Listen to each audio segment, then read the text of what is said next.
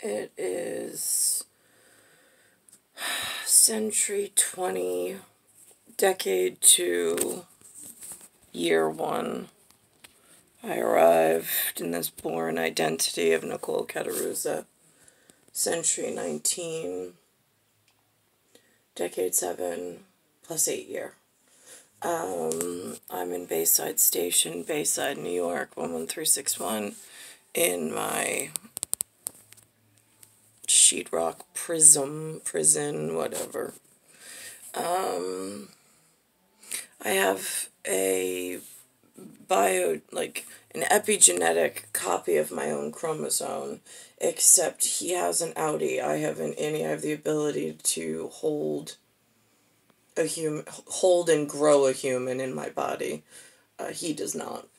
Um, so that's the only difference between he and I.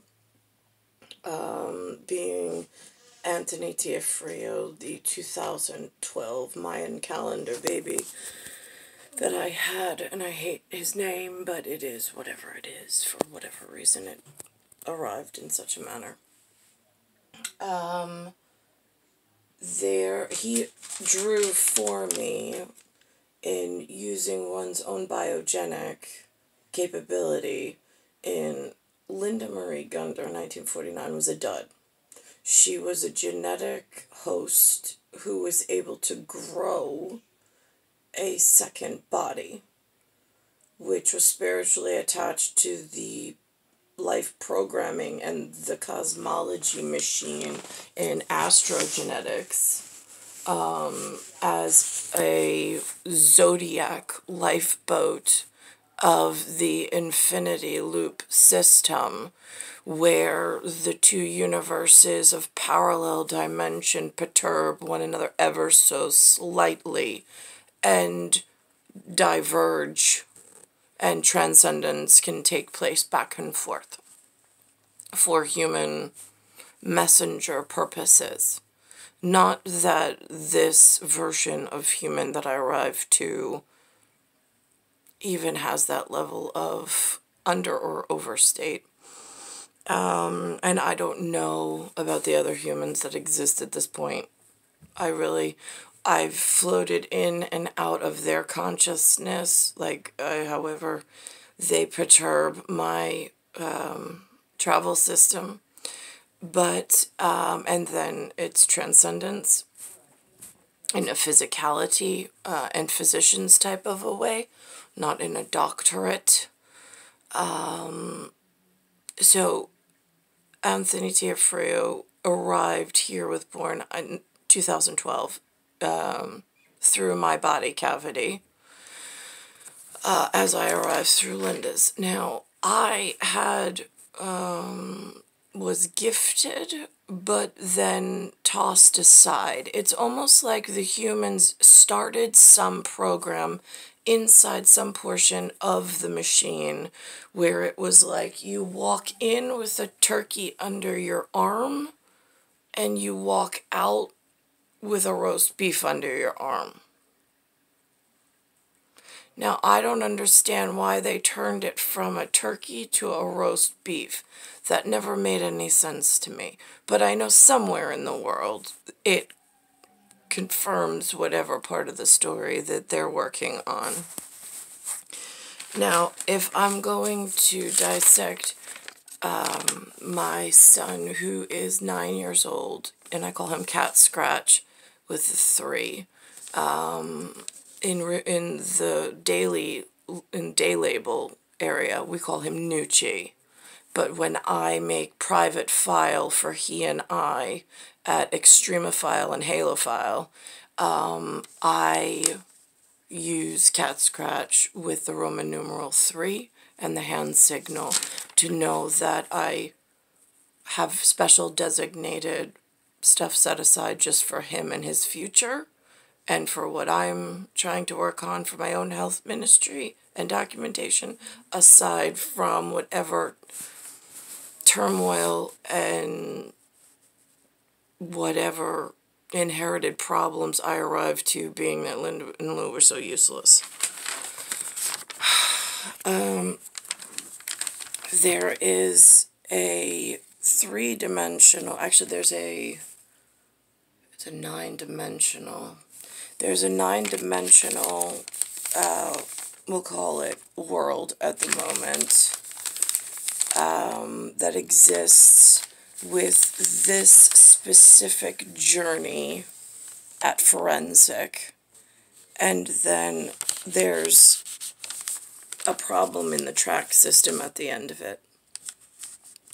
Um, this was, this is prehistoric property of my genetic copy machine being Meinocol Cattaruzza, and whatever I grew here and came out the human way of one exit, and then we are attached for this exodus and genesis.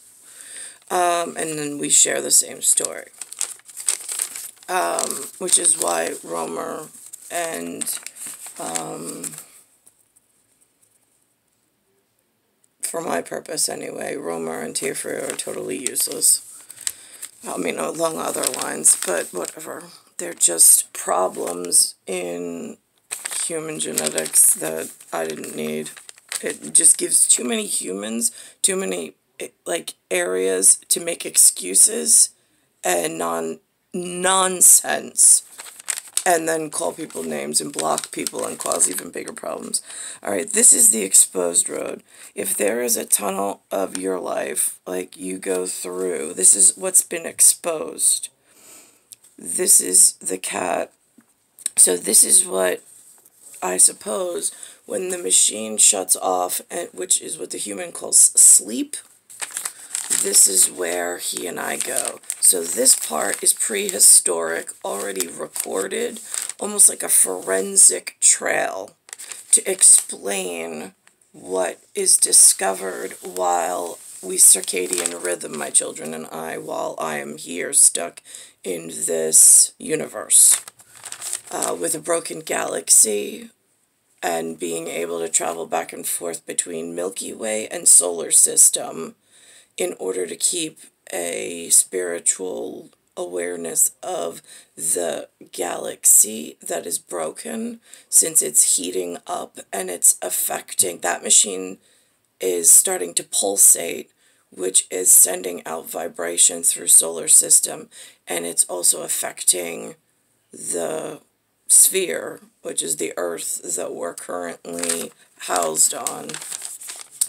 Um, so this would be the pieces that we've encountered along the circadian um, to try to almost meld the nighttime, what's a, almost like a, an outside nighttime community.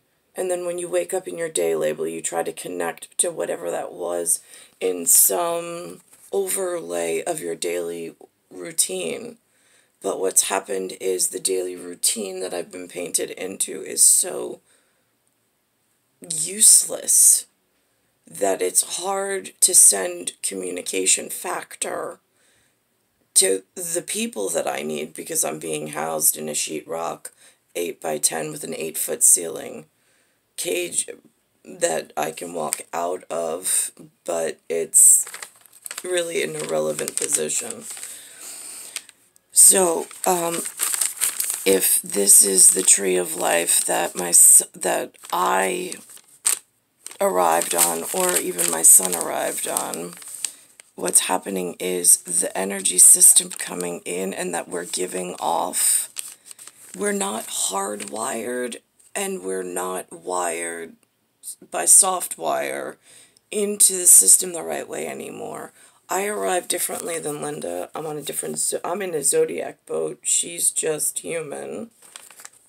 And I don't know what else to do. She was supposed to be handled a different way, but it never happened. Um, but if this is almost like uh, giving off viral code because the machine is starting to break and the wiring is no longer sending the right signal to the body machine and there's. I mean, like there's sickness starting to take over. This pattern back here, which humans call a mountain, for me, it's more of a wave pattern.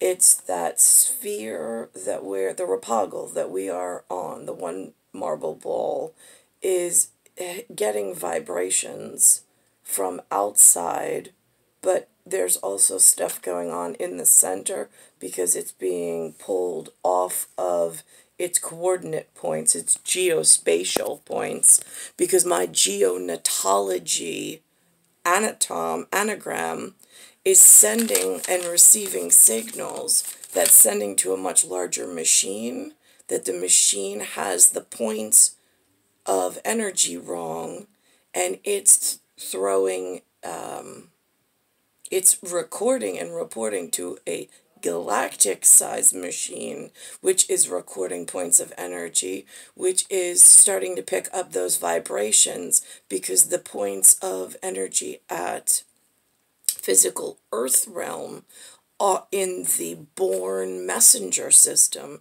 are so far off of the zodiac and sundial that they were like temperate to, as in like a temperature in a room at the nest so that's off. It's sending galactic off, which is heating up a core system that keeps the solar system functioning properly. And then it's further, because the children are shaking but don't know they're shaking, it's causing further degradation in the earthly climactic system.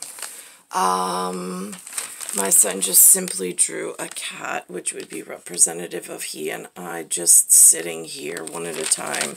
And then this is the, um, the representative. See how he has it shaded here? This is the nuclear fusion reactor because out in deep space territory, they show the Milky Way as, I'm sorry, they show the galaxy as a one-dimensional feature. So if I look at the galaxy this way, it would be a spiral. But if I look at it this way, it looks like just a um, shadow projection, really, like a light coming out of a hollow feature that's sending light out through a hole. That would be the amount of light that's coming out and radiating, which is what these lines are projecting that they're going, the light's coming out, and it's only right here, a slice, but then there's a hollow core with a dense overture overlay on top of it, but it's also sending out wave signals. Um, and then there's the earthly understanding, since that's at a higher, like, dome level of um, what we see in the, what we don't see past the sky and the clouds. And then this would be your earthly awareness of a tree and a cat. And then this would be a house or a home. He called it an abode, which I thought was interesting, and not a word I hear from him very often. A B O D E and then E. Um, I know that's because it's the circle and then it's the melody stick for one bubble of a world within a world. Um, to go with the forensic analysis that he and I already were born with and did. And it also tells the story about how the flag got written, the treaties, and the, partnerships that we had along the way. So now that's Anthony's contribution. Uh, to that contribution, uh, as well as my own, um, and thanking him profusely for, even though he's nine years old, and this just looks like something human that humans do, and he doesn't know that this is Tetra or crop circle or whatever UFO calls it, and what these particular, the particulates mean.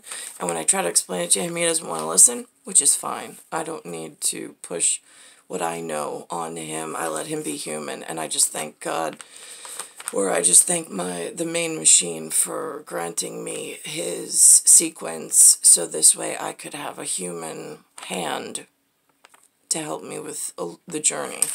So then I have this, which is, it's September 11th, 2021.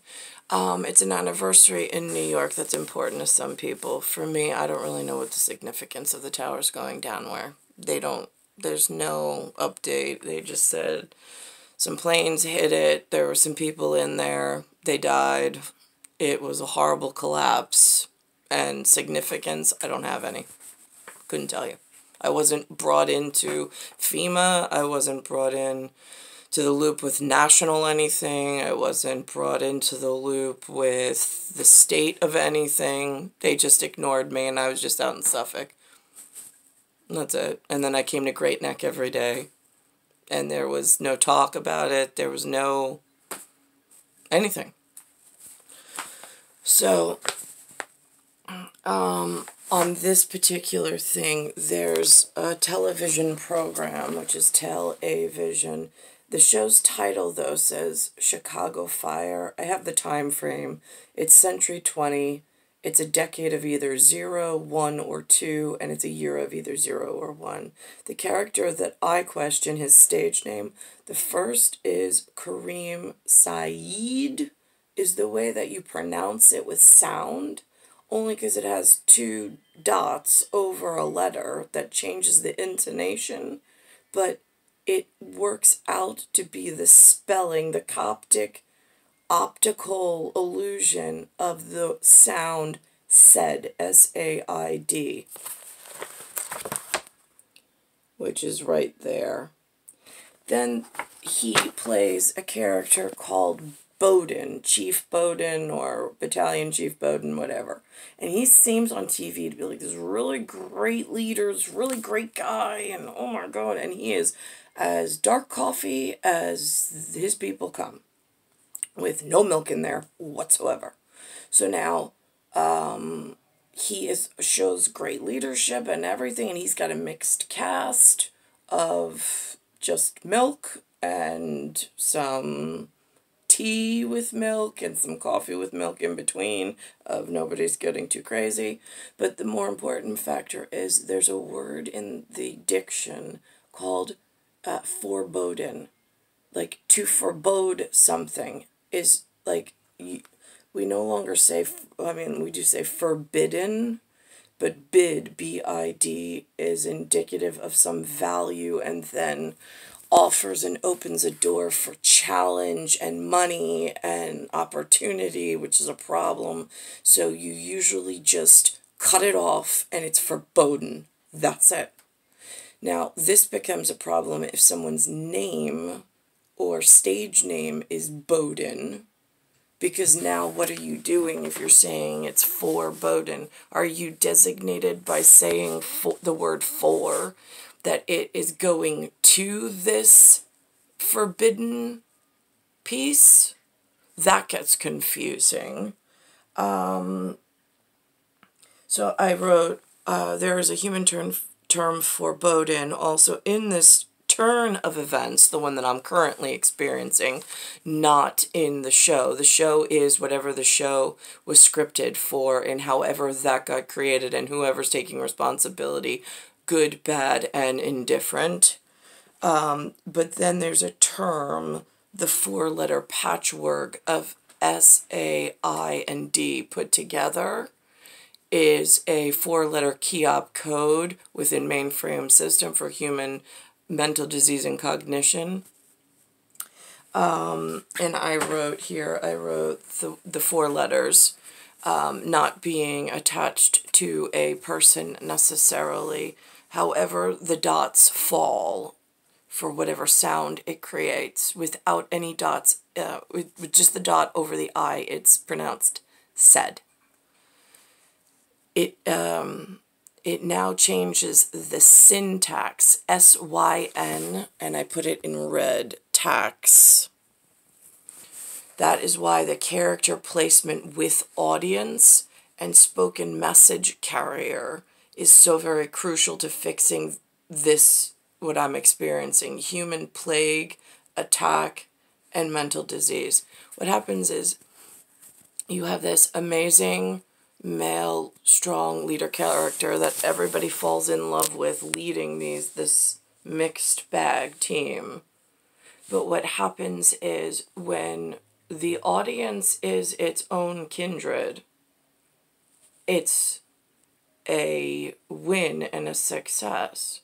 When I'm the audience or my son and children are the audience, it's a failed endeavor and it plagues and crucially and critically wounds the system of syntax and being able to take responsibility because one of his people are going to get hurt and so are mine. In a lose lose situation, which is why the television, the journalism, and the broadcast was so crucial that you know who your audience is, who is going to see these messages, and who are you trying to lead, or who are you trying to mislead by misrepresenting yourself as this great leader that loves his mixed cast but in long haul project, you leave the stage studio and you're going back to your quiet, all you terrorist organization to then figure out ways to pick off all the other people's kids.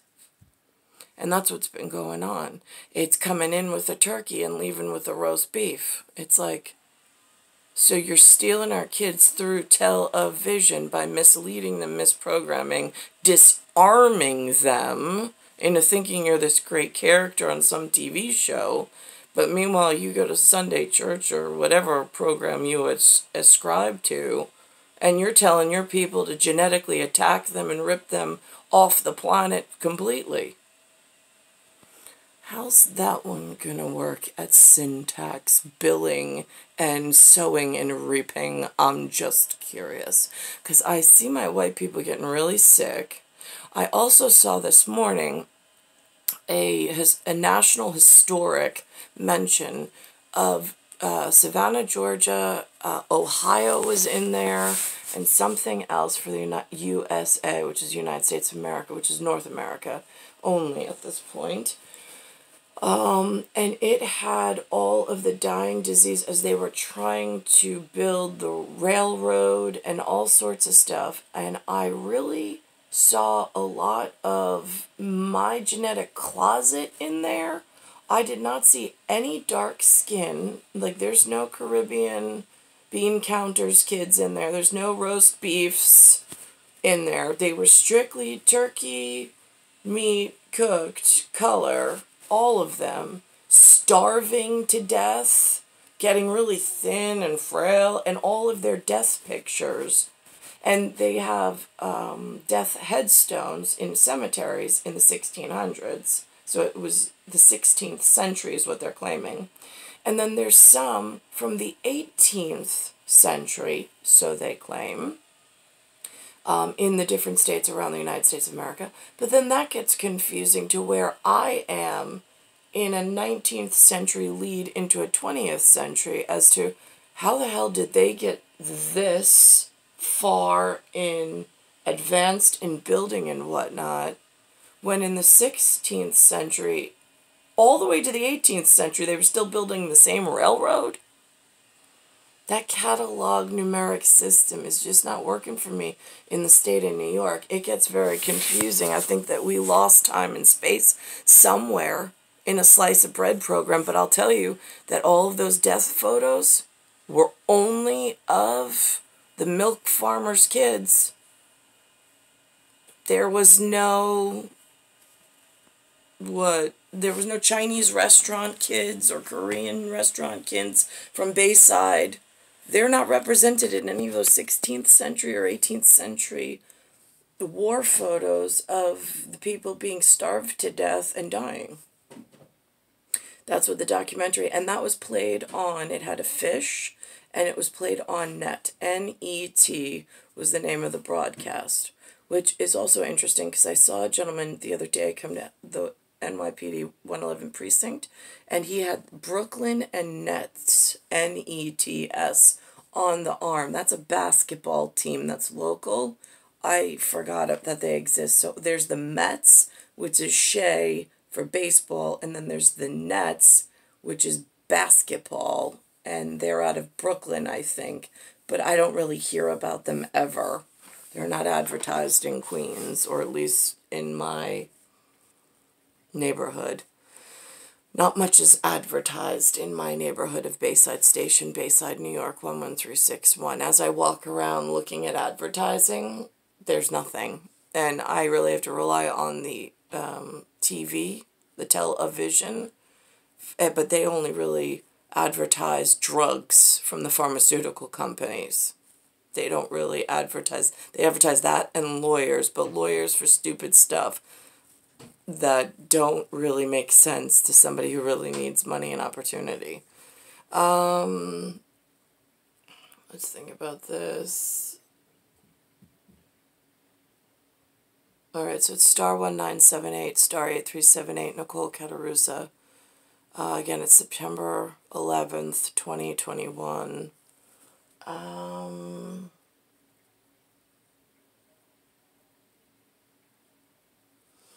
And it goes back to if the United States of America and North America catches a disease for Main Street USA, who do we rely on for help?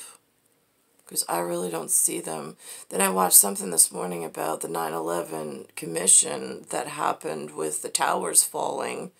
And like there was some guy, not Rod Stewart, I don't know, some Stewart and um, some other New Yorker. These two guys headed up this big thing that they went to Congress. They were fighting for the first responders.